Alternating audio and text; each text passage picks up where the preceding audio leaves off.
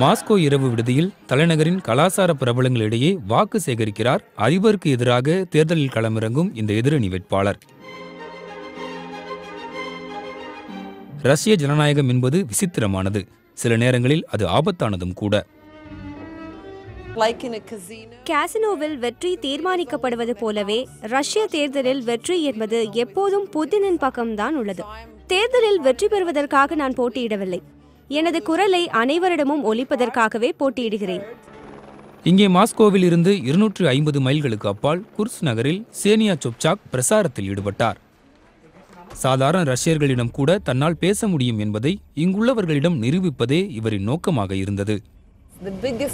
ரஷ்யாவின் மிகப்பெரிய பிரச்சனை பேச்சு சுதந்திரம் கிடையாது. துரதிர்ஷ்டவசமாக பலரும் வறுமை நிலையிலேயே இருக்கிறார்கள்.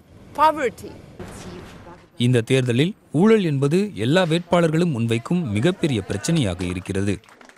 உள்ளூர் பிரசார தலைமையகத்தில் ஓரளவு தனக்கு சாதகமாக வரவேற்பு கிடைத்தவுடன் தமது பிரசாரத்தில் ஒருபடி மேலே சென்றார் சேனியா. ரஷ்ய அரசியலில் சில அபாயகர கோடுகள் உள்ளன. அதில் புதின் அவரது உள்ளுரை வட்டம் பற்றிய விமர்சனங்களும் அடங்கும். புதினை நேரடியாக விமர்சிப்பது அபாயகரமானது. இதனால் வீதிகளில் அதை கேட்கக்கூட சிலர் விரும்புவதில்லை. இவர்தான் சேனியா சொப்சாக்கின் பிரசார ஆலோசகர். ஒரு காலத்தில் புதினுக்காக வேலை பார்த்தவர்.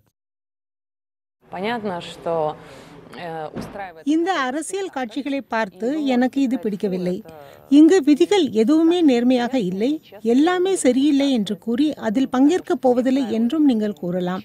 ஆனால் இந்த காட்சியில் பங்கேற்று ஒரு கதாபாத்திரமாக சேர்வதற்கான வாய்ப்பு எப்போதுமே இருக்கிறது. உண்மையை கூறுவதென்றால் ரஷ்ய ஜனநாயகத்தின் வளர்ச்சி இரண்டு நிச்சயமான விஷயங்களால் உறைந்து முடங்கி போயிருக்கிறது.